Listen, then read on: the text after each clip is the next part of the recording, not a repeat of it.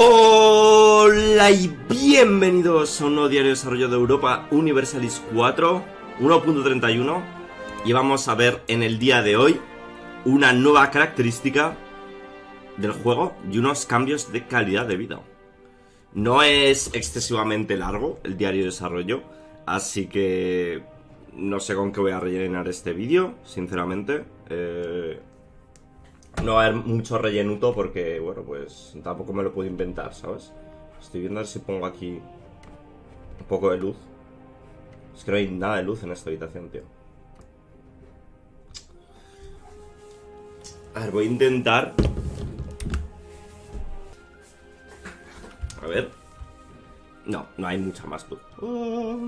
En fin, eh, como digo, bienvenidos a este diario de desarrollo de Europa, de Universalis 4 1.31. Seguimos descubriendo características de, del nuevo DLC y del siguiente parche.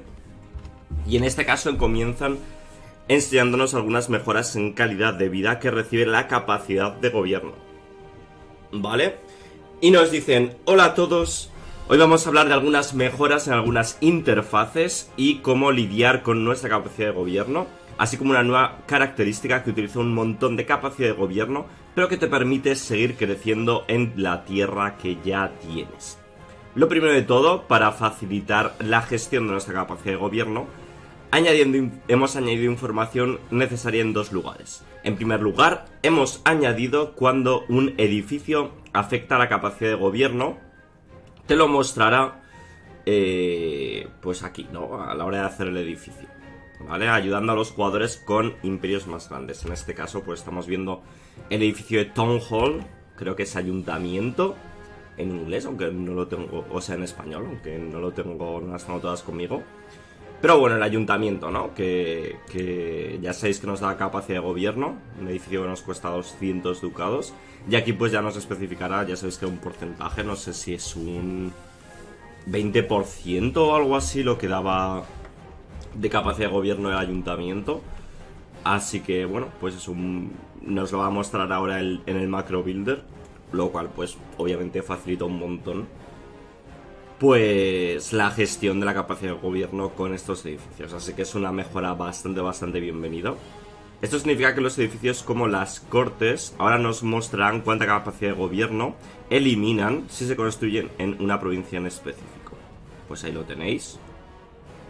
Lo siguiente es algo para ayudar un poco a los que están acumulando un montón de vasallos o les guardan territorios para ellos. Previamente no mostraban cuánta capacidad de los gobiernos, cuánta capacidad de gobierno tenían los vasallos ni cuánto estaban utilizando. Y ahora pues nos lo va a mostrar Aquí, pues efectivamente nos está indicando en este caso un vasallo de Francia que es Orleans.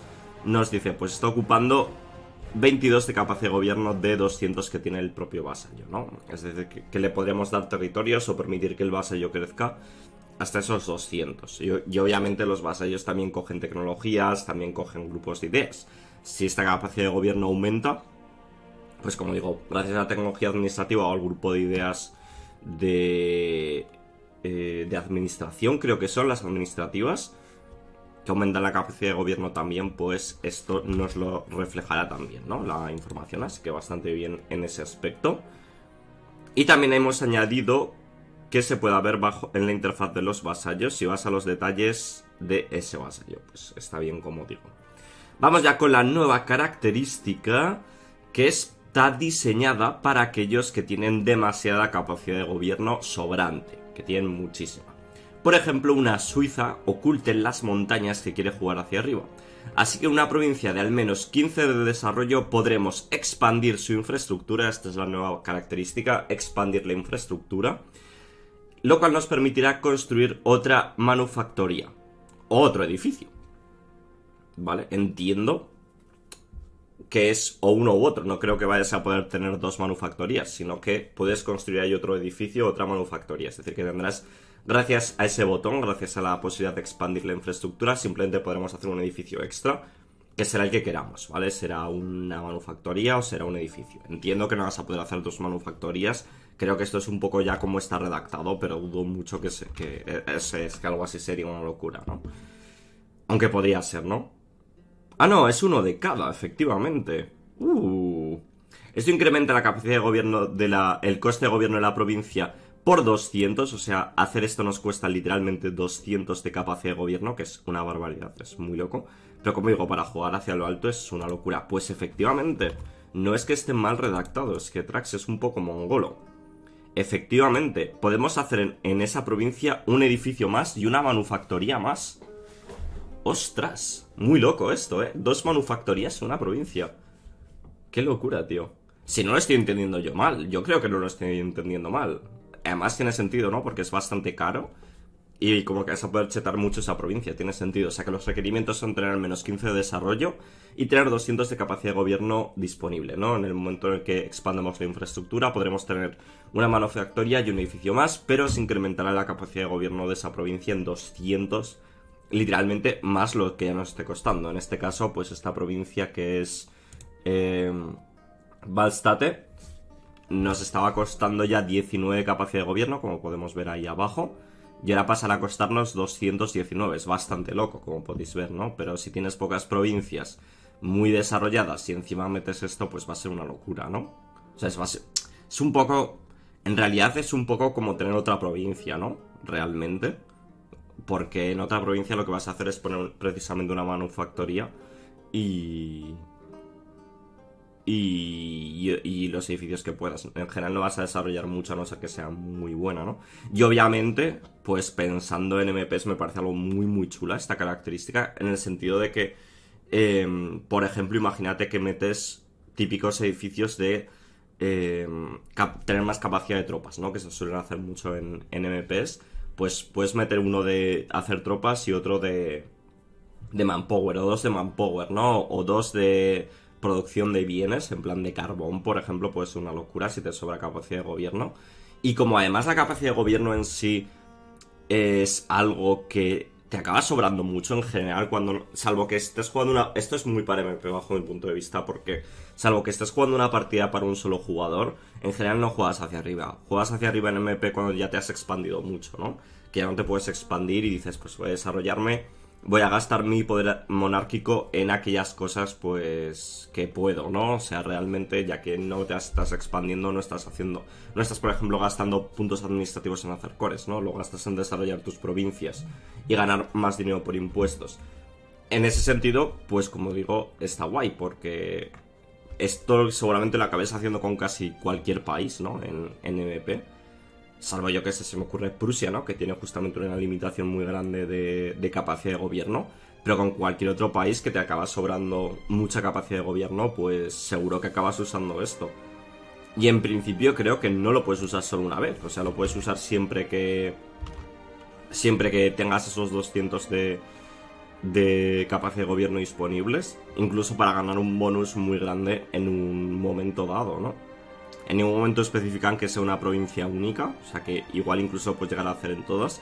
Tampoco dicen si lo puedes... Ah, no, incluso es más loco esto todavía. Esto es más loco incluso de lo que pensaba.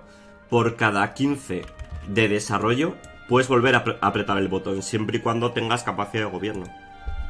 Por cada 15 de desarrollo, y 200 de capacidad de gobierno puedes volver a expandir la infraestructura para más casillas de edificios y manufactorias. Esto es brutal.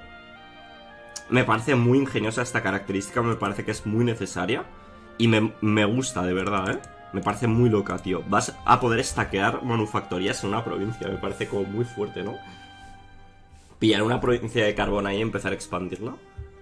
Es que me gustaría ver, por ejemplo, en la partida mía de Polonia, en el EU4, el MP, cuánta capacidad de gobierno tenía yo disponible, pero juraría que era bastante, en plan 500 así. O sea, yo podría expandir dos veces probablemente una, una provincia con, con carbón y meter tres manufactorias de, de carbón, tres hornos.